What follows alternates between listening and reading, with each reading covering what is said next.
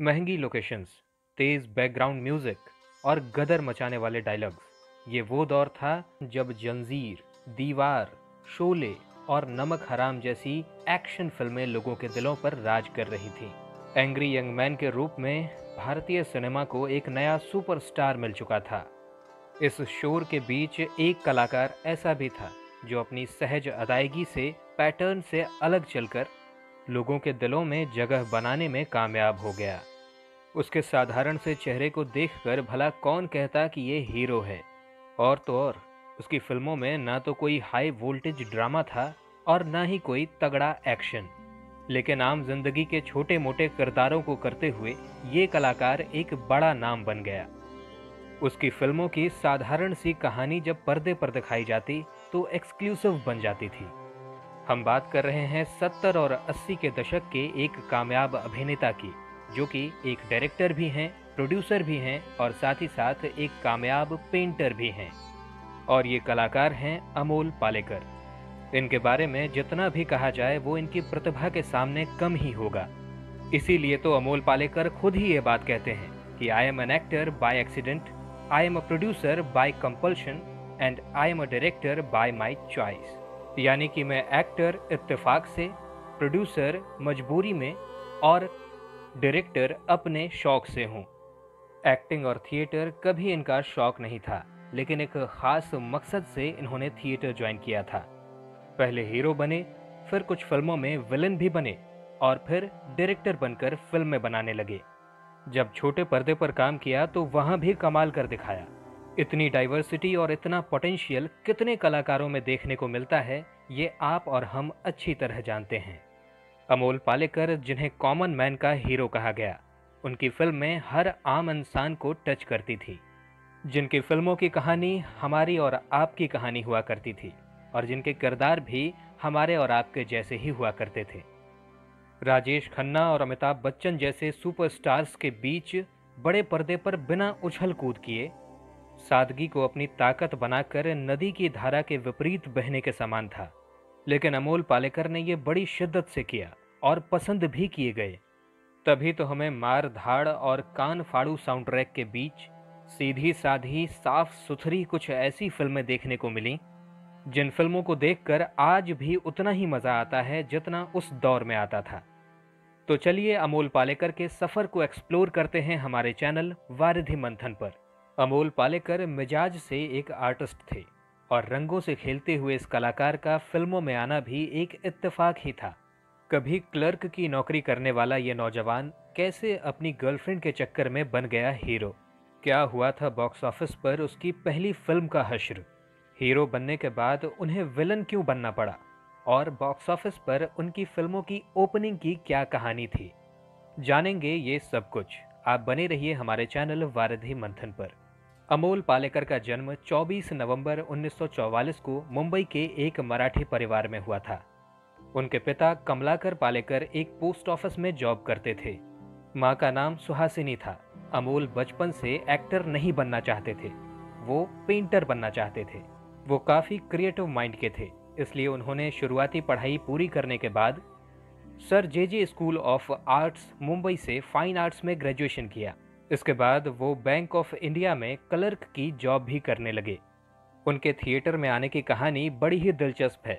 दरअसल अमोल की एक गर्लफ्रेंड चित्रा थी, जो कि थिएटर आर्टिस्ट थी। जब भी वो थिएटर रिहर्सल्स के लिए जाया करती थी तो अमोल भी वहाँ पहुंचकर उनका घंटों इंतज़ार किया करते थे। इसी बात पर तो चित्रा का दिल अमोल पर आ गया था। एक बार जब अमोल पालेकर चित्रा का इंतज़ार कर रहे थे तो एक फ़ेमस डायरेक्टर सत्यदेव दुबे की नज़र अमोल पालेकर पर पड़ी। जब सत्यदेव दुबे ने उन्हें नाटकों में भाग लेने का ऑफ़र दिया तो अमोल पालेकर ने हामी भर दी। धीरे धीरे वो एक्टिंग सीखने लगे और सत्यदेव दुबे के साथ मिलकर उन्होंने बाद में कई सारे नाटकों का डायरेक्शन भी किया। कई सालों तक रंगमंच करने के बाद अमोल पालेकर खुद को एक सफल रंगकर्मी के रूप में स्थापित कर चुके थे। बासु चटर्जी, ऋषिकेश मुखर्जी जैसे लोग उनके नाटक देखने आया करते थे। अमोल पालेकर ने 1971 में एक मराठी फ़िल्म से बड़े पर्दे पर कदम रखा। इस फ़िल्म का नाम था शांतता कोट चालू आहे। 1972 में अनिकेत नाम से इन्होंने खुद का एक थिएटर ग्रुप भी बनाया। इसके बाद 1974 में बासु चटर्जी ने इन्हें एक हिंदी फ़िल्म में काम करने का ऑफ़र दिया। इस फ़िल्म का नाम था रजनीगंधा। छोटे बजट की ये फ़िल्म बॉक्स ऑफ़िस पर तहलका मचा गई। आगे चलकर बासु चटर्जी के फेवरेट एक्टर हो गए थे अमोल पालेकर। और बासु चटर्जी ने उनके साथ लगातार न जाने कितनी फ़िल्में कर डाली। रजनीगंधा फ़िल्म से जुड़ी एक दिलचस्प कहानी हम आपको बताते हैं। साहित्यकार मनु भंडारी की कहानी यही सच है पर बनी इस फ़िल्म को जब तैयार कर लिया गया था तो इस फ़िल्म को कोई डिस्ट्रीब्यूटर नहीं मिल रहा था। करीब छह महीने तक ये फ़िल्म डब्बे में बंद पड़ी रही थी।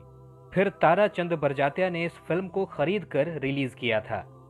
फ़िल्म की ओपनिंग भी काफ़ी स्लो थी, लेकिन धीरे धीरे इस फ़िल्म ने रफ्तार पकड़ी।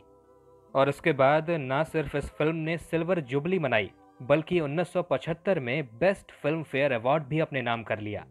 पूरा फ़िल्म जगत इस फ़िल्म की कामयाबी को देखकर भौचक्का रह गया था। इसके बाद तो अमोल पालेकर की बतौर एक्टर एक से बढ़कर एक कामयाब फ़िल्म आई।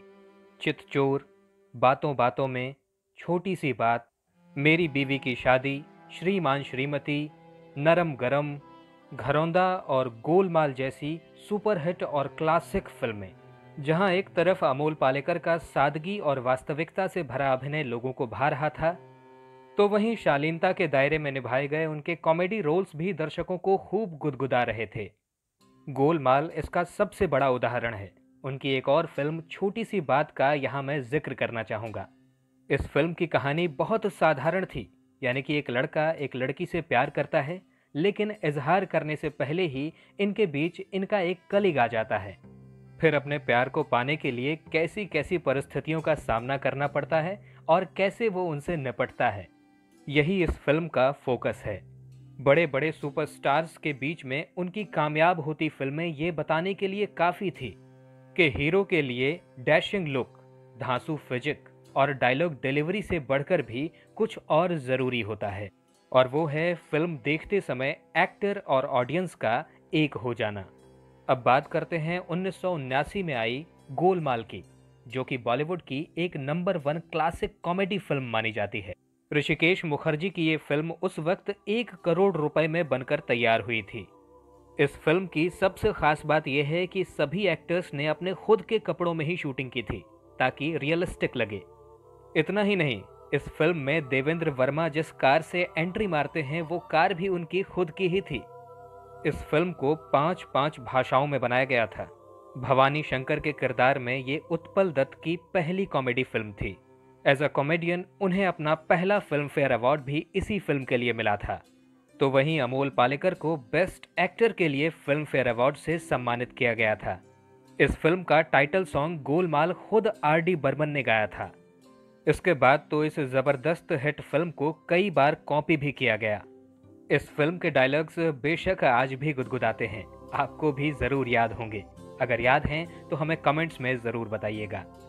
अमोल पालेकर की फ़िल्मों की एक और ख़ास बात होती थी, जहाँ अमिताभ, धर्मेंद्र, राजेश खन्ना और जितेंद्र जैसे अभिनेताओं की फ़िल्में रिलीज़ होने से पहले ही पब्लिसिटी बटोर लिया करती थी और बॉक्स ऑफ़िस पर पहले ही दिन से धमाल मचाया करती थी, वहीं अमोल पालेकर की फ़िल्मों की चाल कछुए की चाल की तरह होती थी, जिसे देखकर फ़िल्म बनाने वाले से लेकर फ़िल्म करने वाले तक के पसीने छूट जाया करते थे। फिर धीरे धीरे लोग इनकी फ़िल्मों की इतनी माउथ पब्लिसिटी किया करते थे कि एक समय के बाद तो लोग सिनेमा घरों पर ये फ़िल्में देखने के लिए टूट पड़ते थे। हीरो के रूप में अमोल पालेकर अब चमक चुके थे। ऋषिकेश मुखर्जी और बासु चटर्जी के साथ उनकी केमिस्ट्री काफ़ी कमाल कर रही थी, लेकिन इसी बीच अमोल पालेकर को कुछ और करने की सूझी। दरअसल 1977 में आई फ़िल्म भूमिका में अमोल पालेकर को हीरो का रोल मिला था। लेकिन उन्होंने इसे करने से मना कर दिया और इस फ़िल्म में विलन का रोल करने की इच्छा जताई। जब ये बात फ़िल्म इंडस्ट्री में फैली तो सबकी ज़ुबान पर एक ही बात थी। अच्छा खासा हीरो बन गया है, ना जाने क्यों विलन बनकर अपना करियर बर्बाद करना चाहता है। पर अमोल पालेकर हमेशा से ही किसी सेट पैटर्न पर चलने के सख्त खिलाफ थे। और इसलिए वो हीरो के रोल से ब्रेक लेकर नेगेटिव किरदारों की तरफ़ उतर गए थे। इसके बाद तो उन्होंने नेगेटिव किरदारों में ही न जाने कितनी सुपरहिट फ़िल्में बैक टू बैक दे डाली। जैसे घरौंदा, अग्नि परीक्षा, तरंग, आदमी और औरत। लोग सीधे साधे अमोल का ये रूप देखकर दंग रह गए थे। लेकिन अभी उनका असली रंग दिखना तो बाकी था। उन्नीस सौ इक्यासी में वो डायरेक्शन में उतरे और पहली मराठी फ़िल्म बनाई, जिसका नाम था आकृत। इस फ़िल्म में उन्होंने एक साइको किलर का चैलेंजिंग रोल भी प्ले किया था। जो अब तक की उनकी हर एक फ़िल्म से एकदम अलग था। सच तो ये है कि अमोल पालेकर ने एक्टिंग से ज़्यादा नाम डायरेक्शन में कमाया और अपनी इस स्किल की वजह से उन्होंने पाँच बार नेशनल अवार्ड भी जीता। दायरा, अनकही थोड़ा सा रोमानी हो जाएँ और पहली जैसी फ़िल्मों में इनके बेहतरीन डायरेक्शन को हम देख सकते हैं। उनकी हिंदी फ़िल्म पहली ऑस्कर के लिए भी नॉमिनेट हुई थी। टीवी के लिए उन्होंने कच्ची धूप, नकाब और मृगनैनी जैसे धारावाहिक बनाए। अगर बात करें इनके पर्सनल लाइफ की तो इन्होंने दो शादियाँ की थी। पहली शादी 1968 में अपनी गर्लफ्रेंड चित्रा से। ये वही चित्रा हैं जिनके चक्कर में ये हीरो बन गए थे। उन दोनों की एक बेटी शलमली पालेकर हैं। ये शादी 30 साल चली और उसके बाद दोनों ने अलग हो जाने का फैसला कर लिया। इसके बाद अमोल पालेकर ने दूसरी शादी संध्या गोखले से की। इन दोनों की भी एक बेटी है, जिसका नाम समीहा गोखले है। अब अमोल पालेकर की उम्र लगभग पचहत्तर साल है। आज भी वो उतने ही व्यस्त रहते हैं, जितना पहले रहा करते थे। अब वो अपना ज़्यादा वक्त पेंटिंग्स बनाने में लगाते हैं। उनकी बनाई पेंटिंग्स की सात से ज़्यादा प्रदर्शनियाँ लग चुकी हैं। लेकिन आज भी वो ऐसे कामों की तलाश में रहते हैं, जो आज से पहले उन्होंने नहीं किया है। बेशक अमोल पालेकर इंडियन सिनेमा का एक नायाब हीरा हैं। और इस हीरे की चमक कभी कम ना हो, ऐसी हमारी प्रार्थना है। दोस्तों, अगर ये वीडियो आपको पसंद आया हो तो इसे लाइक और शेयर करना बिल्कुल ना भूलें। साथ ही साथ, अगर आप चैनल पर नए हैं तो हमारे चैनल वारधि मंथन को सब्सक्राइब ज़रूर करें।